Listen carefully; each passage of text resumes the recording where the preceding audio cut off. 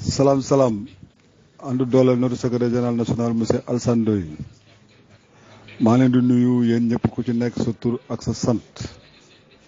Moussa Sow vice président regroupement des chauffeurs gare routière Kaolack may ñëw di lancer benn message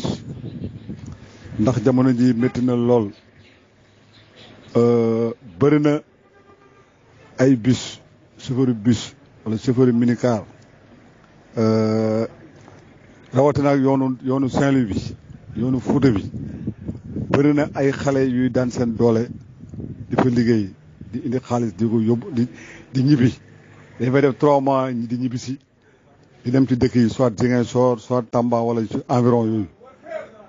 waaye bëri na ay nit ñu dugg si oto yi ay clients ay passagers yu dugg si biir oto yi vraiment di leen jox café café gi drogue moo ci nekk ah, su ko defee ñu jël xaay bi ñu jot yëpp ah, vraiment mu nekk phénomène boo xam ne euh, métti na lool lool lool lool lool te fan yëpp mi ngi am ci gaaru jar bi. fii may waxee yéen léegi ñaari xale yi léegi la ñuy wàcc ci biir garas bi vraiment dañ leen drogué ba mënuñoo ba mënuñoo ba mënuñoo xoolee lañ yoroon yëpp ci xaalis ñu topp leen ko kon donc ñooñu ñu ngi ci biir oto yi may lancé message nag di ko wax pour yéen ñi nga xam ne yéen yor oto yi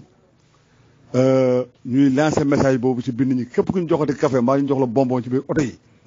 euh, vraiment ñu bañ koo jël parce que métti na loolu te ñooñu chaque jour ñu ngi ci biir oto yi te du benn yoon du ñaari yoon ci biir garage bii ñoo xam ne dañuy wàcc ñun ñoo mujj finalement ñu mujj am problème jéem leen fexe nu ñu leen lijjantee ñu delluwaat fa ñu jóge woon wala ñu ñibbaat seen seen kër yi loolu nag mu nekk loo xam ne lu métti la may ñaan daal vraiment ñu ñu sensibiliser di sensibiliser aussi apprenti yi pour ñuy seetlu ñooñu parce que ñooñu xam naa ne groupe boo xam ne la te vraiment ñu ngi si bëgg a yàgg métti na trop trop trop te à chaque fois boo laajee dañaan la Fuuta laa jógee wàcc jam ñaar ñu ñëw fii kon donc diggante boobu la nekk diggante Fuuta diggante côté boobu la la gars yi nekk vraiment ñu lancé message yi ñaan daal képp ku dégg sama audio bi vraiment nga lancé ko ci benn bépp euh, panelu transport boo xam ne mën nga ko lancé foofu nga lancé ko vraiment ñu mën a sensibiliser nit ñi parce que métti na trop trop trop trop trop te ay xale yu ndaw lañ koy def ay xale yu ndaw nga xam ne dañu toll seen diggu doole war a dimbale seen yaay seen papa yi